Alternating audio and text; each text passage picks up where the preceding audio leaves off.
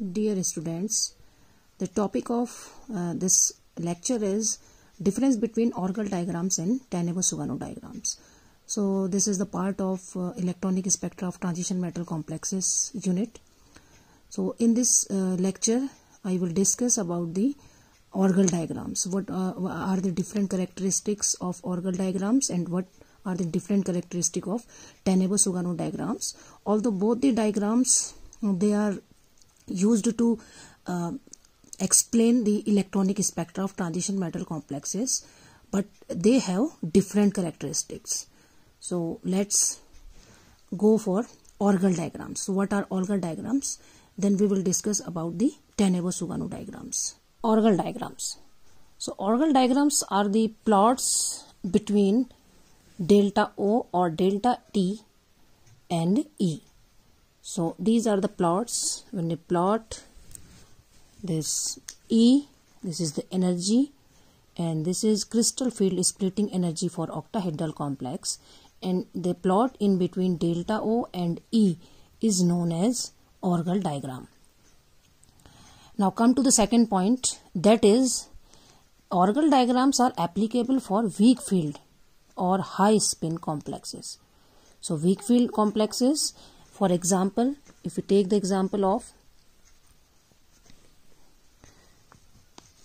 D4 configuration. So in case of D4 configuration, we can see that electronic arrangement will be like this. This is high spin complex because there are four unpaired electrons. So it is a high spin complex and for such type of complexes only the Orgel diagrams are applicable. These are not applicable for low spin complexes or strong field complexes. If we see the other point that is term symbols of same multiplicity are incorporated in the Orgel diagrams. Multiplicity. What do you mean by multiplicity? Again we can explain if S this is a total spin angular momentum quantum number. If it is half only one unpaired electron is there then multiplicity is equals to 2s plus 1 means multiplicity will be equals to 2 so multiplicity will be 2 so in case of Orgel diagrams the same multiplicity terms should be incorporated in the Orgel diagram. Like in this Orgel diagram we can see that this is the Orgel diagram for D1 octahedral complex. So we can see that this is the ground state term for the this is the atomic term. And after formation of octahedral complex we can see that this D state it can split into these two molecular terms that is 2T2G and 2EG. So multiplicity remains the same. It has multiplicity 2 and it has also multiplicity so 2. So in Orgel diagrams we take the term symbols having same multiplicity terms. So this is one characteristic of Orgel diagram that is different from that of Tanabe-Sugano diagram. Now in the next point we can see this is the next characteristic that the ground state is not present in the horizontal line but present above the zero energy level. So in case of Orgel diagram we can see that this is the ground state term for atom atomic state and this is above this zero uh, energy level and this is the horizontal line. So this ground state is not representing the horizontal line. This is the ground state and this ground state is above this zero energy level. So ground state is present at at above the this horizontal line, not this horizontal line. So this is a very big difference between Tanabe-Sugano diagram and uh, we will uh, see later on that uh, how we can represent a Tanabe-Sugano diagram. So in this case multiplicity terms should be uh, the terms should be of same multiplicity and the ground state term will be above the zero energy level then the Orgel diagrams they cannot help in calculation of delta O, B and beta. So this is crystal field splitting energy of octahedral complexes. This is Racah parameter and this is nephelauxetic ratio. So with the help of Orgel diagram we can we cannot calculate these three values but with the help of Tanabe-Sugano diagram we will see that we can easily calculate delta O, B and beta. in case of D1, D2, D3, D8 and D9 configurations, Orgel and Tanabe-Sugano diagrams are same.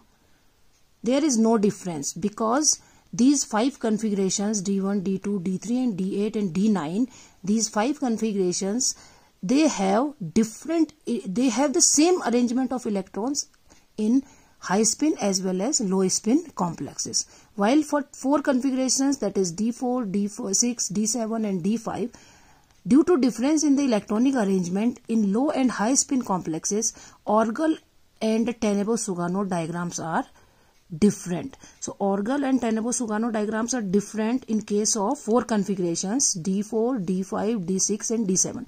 You have to remember these four configurations each time because for these configuration for these four configurations the electronic arrangement in high spin and low spin complexes is entirely different. So their ground state term will be different as we have discussed in the previous lecture how we have already determined the ground state terms for different configurations. We have calculated for D4, D6, D7 and D5 high spin as well as low spin complexes and we can observe that the ground state terms are entirely different from high spin and low spin complexes. So due to this difference, their Tanabe-Sugano diagrams and Orgel diagrams, they are different.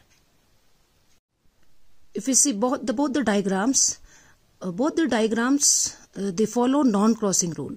This non-crossing rule i will discuss later in my uh, next uh, to next lecture that uh, will be on the correlation diagrams. So in correlation diagrams we can uh, see the non-crossing rule. So both the diagrams they follow non-crossing rule. Now come to the Tanabe-Sugano diagrams. So in case of Tanabe-Sugano diagrams these diagrams are also for uh, electronic spectra of transition metal complexes and with the help of these diagrams we can easily uh, uh, determine the number of peaks and the uh, the type of complex and uh, how much the number of unpaired electron in the uh, particular compound. So these are the information which can get from the uh, Orgel diagrams and Tanabe-Sugano diagrams. But the specific characteristics that differ these Tenebo-Sugano diagrams from Orgel diagrams are that these are the plots between delta O upon B and E upon B. Here E is the energy, B is the Racah parameter. Delta O is the uh, crystal field splitting energy of octahedral complexes and B is Racah parameter. So Racah parameter I will also discuss in the next uh, some uh, next lectures. So this is the difference. Orgel diagrams are drawn in between delta O and E while Tanabe-Sugano diagrams they are plotted in between delta O upon B and E upon B. So this is a difference between so in case of D1 octahedral complexes Tanabe-Sugano diagram, we can see that this diagram is drawn in between delta O upon B and E upon B. While in case of D1 configuration, we can see that it is drawn in between delta O and E. So, so by uh, observing this uh, plotting in between delta O and E, we can easily uh, assess that this is Orgel diagram and this is or Tanabe-Sugano diagram because it is a plot between delta O upon B and E upon B. So this is the main characteristic of Tanabe-Sugano diagram. So if we see the second point, these Tanabe-Sugano diagrams, they are applicable both for both strong field or low spin complexes and weak field and high spin complexes. While Orgel diagrams, they are applicable only for weak field complexes. Tanabe-Sugano diagrams, they can be drawn for both strong field as well as weak field complexes. In case of Tanabe-Sugano diagram, one interesting characteristic is that the terms of different multiplicities are incorporated in the Tanabe-Sugano diagram. So we have already seen that in case of Orgel diagrams, the multiplicity of two terms are same. In case of D1, I have already told that the D1, D2, D3, D8 and D9 configurations, they have similar Orgel diagrams because their ground state terms are same in a strong field as well as in weak field. So in case of uh, both have the terms of similar multiplicity. but in case of a D4 configuration, if we see that in this Tanabe-Sugano diagram, we can see that the multiplicity is 3, this is 5 multiplicity and this is 5 multiplicity. So we can include different multiplicity terms in Tanabe-Sugano diagram. So this is the Tanabe-Sugano diagram of D4 configuration in which we have already calculated uh, in the previous lecture the ground state term for a low spin complex transition metal complex that that is 3 T1G while in case of weak field complex we have already discussed previous lectures that is 5EG. So there is difference in the ground state term in weak field complexes and in strong field complexes. So this is the ground term, ground state term for weak field complex and this is for strong field complex so it is it has different multiplicity it has different multiplicity so in this Tanabe-Sugano diagram we incorporate the terms with different multiplicity while in case of Orgel diagram we incorporate only the terms of same multiplicity. This is a D4 uh, configuration Orgel diagram in which we can see that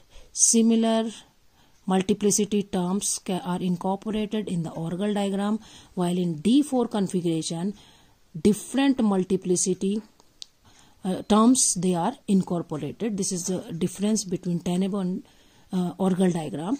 Then one important characteristic is that the ground state is represented by horizontal line and is taken as zero energy. In case of Tanabe-Sugano diagram, we can see that this is the atomic term and this is the molecular term.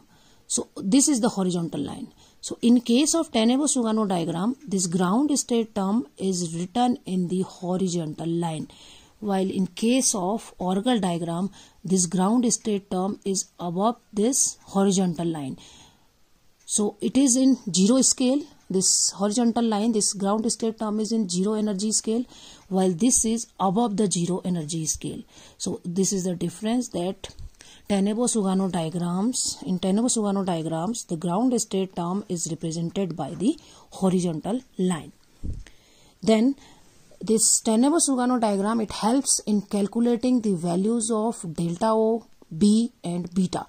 B is Racah parameter. These are interrepulsion, interelectronic repulsion parameters and nephelauxetic ratio.